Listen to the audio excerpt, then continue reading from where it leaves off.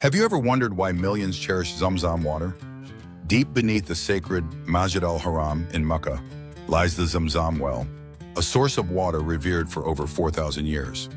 According to authentic hadith, the Prophet Muhammad, peace be upon him, said, the water of Zamzam is for whatever it is drunk for. This highlights its unique spiritual status. Believers drink it with prayers for healing, sustenance, and guidance. Zamzam water is also mentioned in an Islamic tradition as a gift from Allah to Hajar and her son Ismail, symbolizing mercy and divine provision. But Zamzam's wonder isn't just spiritual. Scientific tests reveal its mineral content is distinct from regular water, rich in calcium, magnesium, and other beneficial minerals, and notably free from harmful bacteria. Its taste remains unchanged for long periods, defying typical water spoilage. Researchers have also confirmed that the well's supply never runs dry, even during the busiest pilgrimage seasons when millions consume it.